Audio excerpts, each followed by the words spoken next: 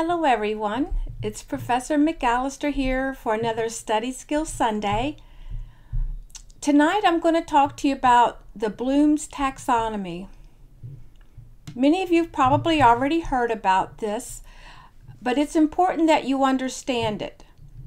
So I'm going to explain it to you and I'm going to show you how you can use this information to get better grades. The the Bloom's taxonomy was created in 1956 by Dr. Benjamin Bloom, and he used this pyramid to promote higher level thinking and to help students learn how to analyze and evaluate information. Basically, it's, it's a classification of the levels of learning. I have a pyramid here, Bloom's taxonomy. It starts at the bottom with knowledge. Knowledge is where you were in high school when you had to memorize the times tables. 2 times 4 equal 8. Okay, that's where you were. The next level of thinking is understanding. And with understanding, that's where you can uh, talk about, explain what meiosis is or mitosis is. The third level is application. With application, you learn how to apply the, a formula, a particular formula, to solve a word problem.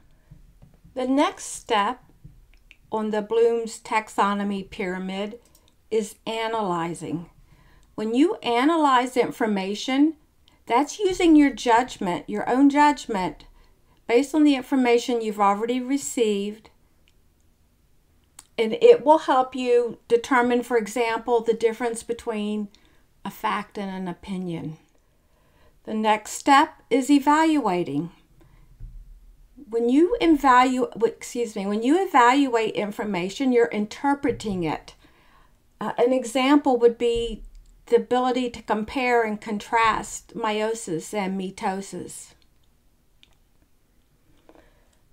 And then the final stage of Bloom's taxonomy is create.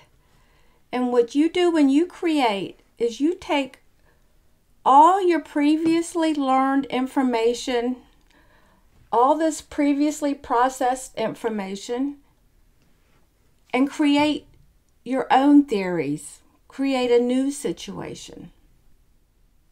So, how is this going to help you with studying? First of all, when you study, you must know this excuse me, know this information well enough to be able to teach it to someone else. By doing so, you'll be able to perform well on exams.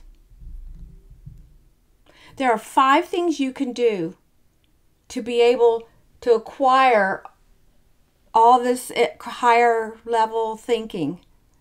First is you must always preview your text chapters before going to class.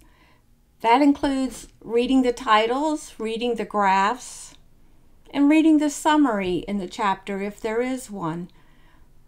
That way, you've primed your brain, it's ready to go in and absorb the information from the lecture. The second step is to make sure you go to class, every single class. Yeah, I know not all classes take attendance, but you cannot afford to miss if you're trying to ace the class, okay? Be sure you review your your class notes within 24 hours of the lecture. And I've mentioned this before.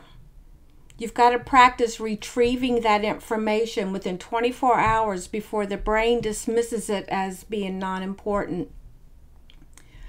And then you study, study, study.